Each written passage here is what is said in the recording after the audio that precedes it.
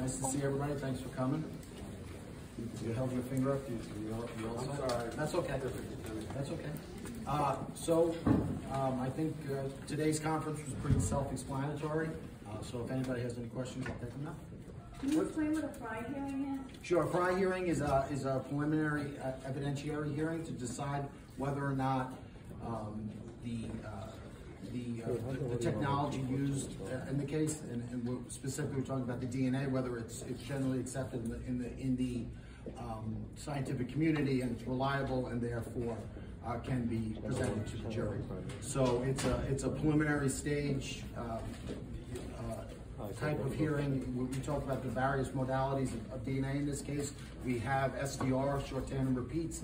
Uh, that has been litigated in uh, Suffolk County and New York State and found to be admissible. We have uh, mitochondrial DNA that has likewise uh, been, been litigated and found admissible. Now we have this SNP uh, DNA, which which is a issue of first impression uh, for uh, for New York State. So we'll have to go through that.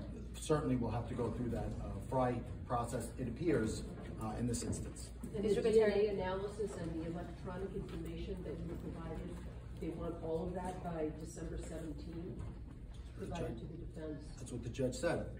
But can you elaborate on that a little bit?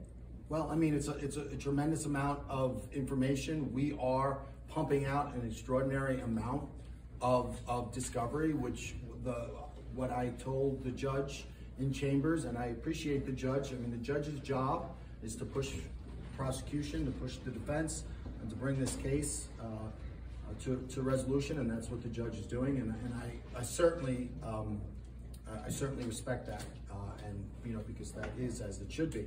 Um, you know, but with, with regard to us, uh, uh, you know, specifically, we have uh, forfeiture money that has been frozen as a result of uh, an in- investigation that occurred prior to my administration. We're talking about uh, millions of dollars, I believe $13 million.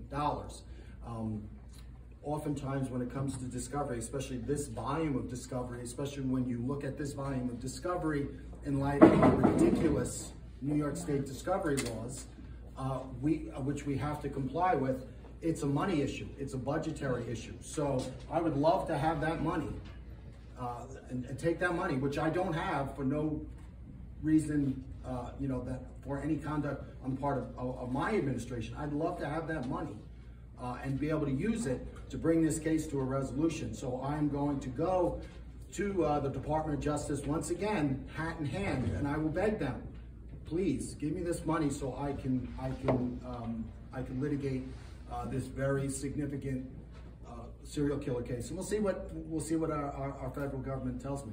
So Mr. do you Attorney, think you- us- Mr. Tierney, are you uh, concerned that some of the evidence that you guys have been gathering might be thrown out because of the methods that have been used, the newer version methods? No. So are you on track to make that December seventeenth deadline or not?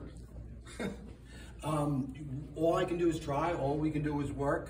Uh, again, you know, you, I, you have to live with